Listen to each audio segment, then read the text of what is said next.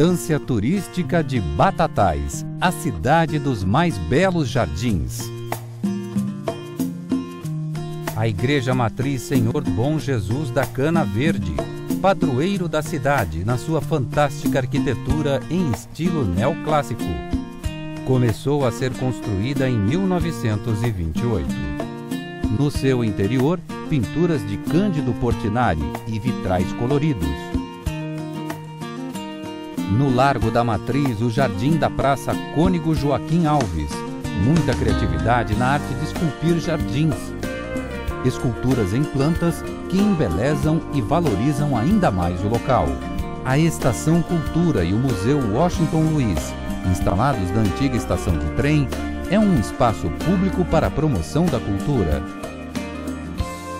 O Centro de Documentação da Segunda Guerra Mundial, com um valioso acervo histórico organizado pela capitã Altamira Pereira Valadares, enfermeira batataense da Força Expedicionária Brasileira.